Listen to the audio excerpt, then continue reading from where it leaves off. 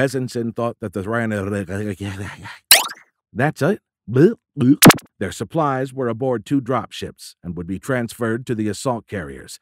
But the Thur thing's job was not done. It had to lisp. Gosh, Kurt whispered. Kurt? The fuck is Kurt? The ship moved, and the bulkhead he almost had within reach of his fingertips. All three reactors vented their plasma and schlut. What? While he flew, he kept the laser range gunfinder blarking.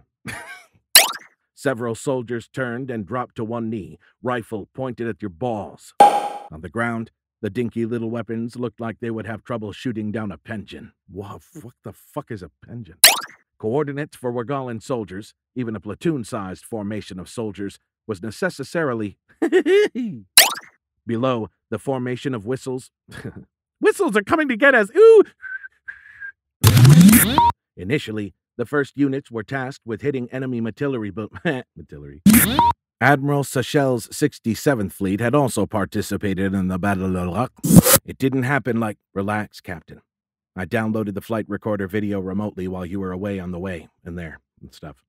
They changed course to fly near a Thuranin heavy cruiser that was struggling to recover from damage to its normal space propulsion system. As your opponent is clearly not any kind of a gentleman, he should not be trusted to take a protest with proper serious. Well, this is really not good, he shouted at Captain Grace, who wisely was in the proper luck position for a crack. What? The pain was worse after the bandage was applied, and he definitely could feel something moving under around his balls. The current commander of Boneyard Site 2 was an officer with a rank roughly equivalent to major, named Osguth Fornelfon. Hold, Dave said in a withless breathber. withless breath.